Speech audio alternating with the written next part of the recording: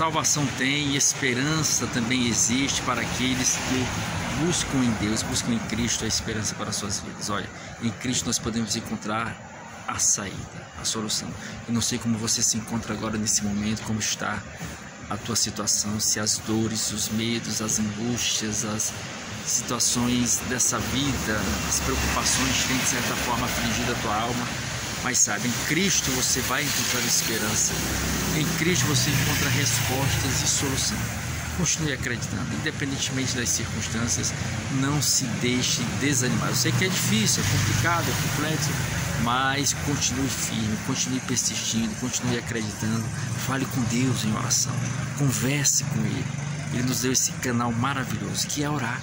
Ore, fale lá, chegue lá naquele momento, naquele, no seu quarto, na sua sala e converse com ele, explique para ele como está a situação. Ele vai te ouvir, ele vai te atender. Deus te abençoe, se inscreva no canal Renovo da Alma, ative o sininho, curta, comente, compartilhe e lembre-se, Jesus está voltando. Prepare-te.